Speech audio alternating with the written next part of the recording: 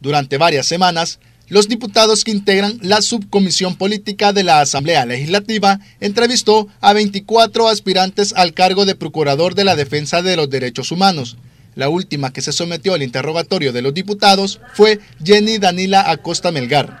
Como procuradora de ser electa, ¿usted apoyaría los matrimonios entre personas del mismo sexo?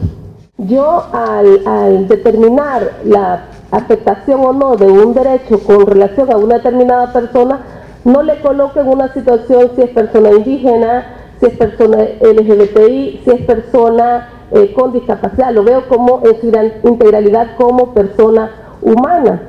Y, eh, y en el ejercicio progresivo de, de, sus derechos, la Procuraduría en estos casos, más que decir si estoy a favor o no estoy a favor, es acompañar las legítimas reivindicaciones de derechos que tiene este sector de la población como todos los sectores de la población. Según los diputados, el proceso cumple los requisitos para elegir a la persona idónea para el cargo.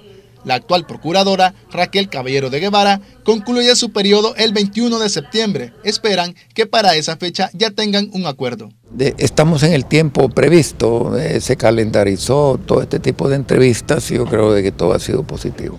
Definitivamente estamos en tiempo y esperamos ya la otra semana que la Comisión Política empiece las deliberaciones públicamente. El informe será entregado a la Comisión Política, donde las distintas fracciones deberán deliberar y alcanzar al menos los 56 votos para la elección.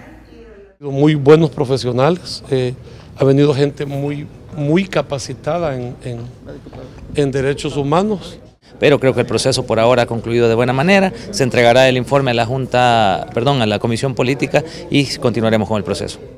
Algunas organizaciones sociales han criticado este proceso, incluso sostienen que hay falta de transparencia, por ejemplo, la falta de un baremo para hacer las valoraciones de los candidatos.